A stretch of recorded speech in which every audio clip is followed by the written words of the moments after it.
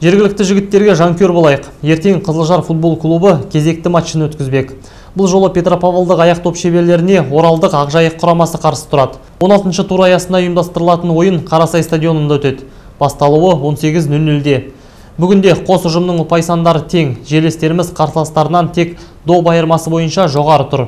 Турнирлік кестеде теріскеліктер 5-ші, ал батыстықтар 7-ші орынға жайғасқан. Біріншіліктің алғашқы айналымында екі құрама бір-бірімен кездескенін айта кетейік. Онда қызылжарлықтар 0-1 есебімен жеңіске жеткен болатын.